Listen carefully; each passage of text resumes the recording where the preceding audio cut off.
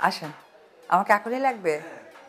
Just right now আচ্ছা তাহলে একটা কাজ করি এক দুটা ইয়ের মধ্যে আমি প্রশ্ন শেষ করে দিই। জাস্ট দুটা মিনিট একটু ভাইয়া রব্বানি ভাই তা- সে তো ঢালিউড কিং কিং খান বলা হয়। আসসালামু আলাইকুম রহমতুল্লাহি আবরকাতু অন্যান্য ধর্মের ভাই ও বোনদেরকে জানাই আন্তরিকভাবে শুভেচ্ছা। তো বন্ধুরা, আজকের টপিকটি হলো নায়িকা অপু বিশ্বাস এবং সাকিব খানকে নিয়ে কিছু কথা বলল অপু। সেই ভিডিওটি আপনাদেরকে দেখাবো। তো সর্বপ্রথম বলব, যারা আমার এই চ্যানেলে নতুন, অবশ্যই চ্যানেলটি সাবস্ক্রাইব করে নিন। সাবস্ক্রাইবের পাশে একটি বেল আইকন আছে, ঠিক চিহ্ন দিন, যাতে আমি নিত্য নতুন ভিডিও আপলোড দিলে সর্বপ্রথম আপনারা পান। আর ভিডিওটি যদি কিঞ্চিত পরিমাণে আপনাদের উপকারে আসে বা ভালো লাগে, অবশ্যই চ্যানেলটি সাবস্ক্রাইব করে রাখবেন।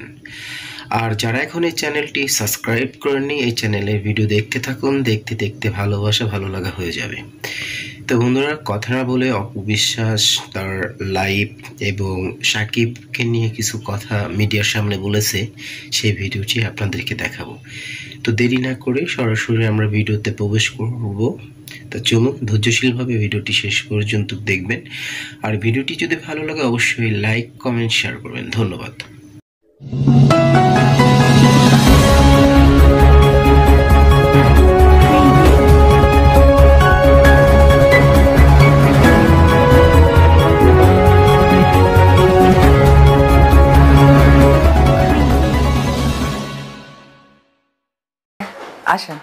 আমাকে এখনই লাগবে? জাস্ট রাইট নাও আচ্ছা তাহলে একটা কাজ করি এক দুটা ইয়ের মধ্যে আমি প্রশ্ন শেষ করে দিই। জাস্ট দুটা মিনিট একটু ভাইয়া রব্বানি ভাই সে তো ঢালিউড কিং। কিং খান বলা হয়। সেই জায়গা থেকে আমার তার সেভেন্টি টু মুভি করা হয়েছে। সেখান থেকে হয়তো বা ভালোবেসে আমাকে ঢালিউড কুইন বলে। এটা আমি অনেক লাকি হয়তো আমি না থাকলেও এই নামটা থেকে যাবে। তো এটাই আমাদের প্রাপ্তি। আর সত্যি কথা বলতে গেলে কি কাজ জীবন সব তাদের গতিতে চলে। ভালো কাজ সবাই মিস করে ভালো একটা কোয়ার্টার্স সবাই মিস করে কিন্তু তারপরও তো চলতে হয়। যেমন আমি আমার মাকে হারিয়েছি। কিন্তু আমার মা বেঁচে থাকতে অনেক কিছু মনে হতো যে এটা মনে হয় মা ছাড়া একেবারে ইম্পসিবল বাট আজকে দেখতে দেখতে দু মাস পার করে তিন মাসে পড়ছি। কাজ করছি সিনেমায় হাসছি অভিনয় করছি কাঁদছি রোম্যান্স করছি দুঃখ করছি। তো আসলে মিস করার ব্যাপার থেকে বড় কথা আমার কাছে মনে হয় যে জীবন তো থেমে থাকে না। সো কাজ কর- করাটা হচ্ছে ইম্পর্টেন্ট আমি যা কাজ করেছি, দীর্ঘদিন কেন আরও আরও দু বছর পরেও যদি কাজ করতাম, আমি দর্শকদের মাঝেই থাকতে পারতাম। তবে হ্যাঁ যারা মানে আমার যারা দর্শক তারা আমার প্রতি এক ধরনের এক্সপেকটেশন রাখে যে আরও কিছু কাজ হোক নতুনত্ব হোক বা সে নতুন কিছু কাজ দিয়ে আমাদের সামনে আসুক কাজের সংখ্যা বেড়ে যাক। কিন্তু আমার কাছে মনে হয় যে পরিমাণ কাজ আমার করা আছে তাতে করে আমি আমার দর্শকদের সাথে আহ, কখনোই ডিস্টেন্সে নেই। ইনফ্যাক্ট এই যে কোভিড সিচুয়েশন আমরা কেউ বাসা থেকে বের হয়নি প্রত্যেকটা সময় আমার কাছের মানুষরা আমাকে এস এম এস দিয়েছে এবং কনভারসেশন হয়েছে।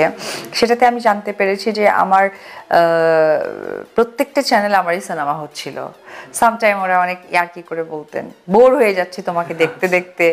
তো ওই জায়গা থেকে আমার কাছে মনে হয় যে ভালো কাজ প্রেজেন্টেশন দেওয়াটা ইম্পর্টেন্ট দর্শকদের সাথে অল টাইম কানেক্টিং থাকাটা ইম্পর্টেন্ট না। কারণ অনেক বেশি সময় ধরে কানেক্ট থাকতে গেলে অনেক সময় ভালো মন্দ কাজ মিলে মিশে চলে যায়। কিন্তু একটু সময় নিয়ে বুঝে বা আবার ভালো কাজ করতে চাই, এই ধরনের যদি প্রতিশ্রুতি দিয়ে কাজ করা যায় তাহলে ডেফিনেটলি একটা গুড ফিডব্যাক পাওয়া যায়। আমার কাছে মনে হয় একজন অভিনেতা বা অভিনেত্রী হিসেবে অভিনয়ের ফোকাস এবং ক্যারেক্টার প্লে করার ফোকাসটা হচ্ছে মেইন হওয়া দরকার। আমি গসিপকে অনেক বেশি অ্যাপ্রিসিয়েট করি, কারণ ভালোর কিন্তু একটাই ওয়ার্ড ভালো। আর খারাপ বলতে গেলে অনেক ডেফিনেশন বলা যায়।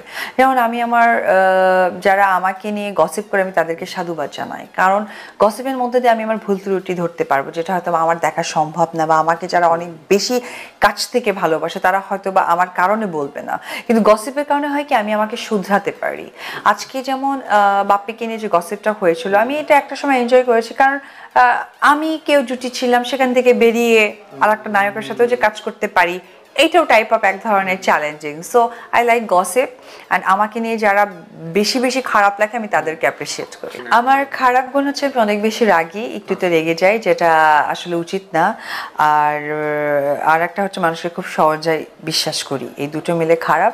আর ভালো হচ্ছে আমি অন্যের ভালো দেখলে আমার ভালো লাগে।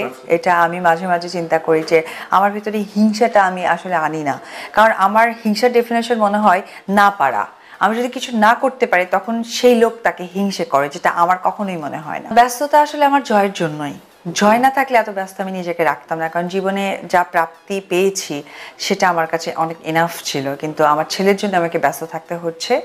তার মাঝখানে আমার ছেলে আমাকে অনেক হেল্প করে, কারণ সে মমকে অনেক বেশি স্পেস দিয়ে দেয় যে তুমি কাজ করো বিকজ হি নোজ যে তার ওয়ার্কিং মম আর আমিও যতটুকু পারি এখন ইন্টারনেটের যুগ, তার সাথে ভিডিও কল তার সাথে অ্যাটাচমেন্ট অ্যান্ড যখনই সময় পাই আমি তার সাথেই থাকি। ইম্পর্টেন্ট হচ্ছে আমি কাজ করছি, আমার ছেলের জন্য আমাকে কাজ করতে হচ্ছে দ্যাটস অল থ্যাংক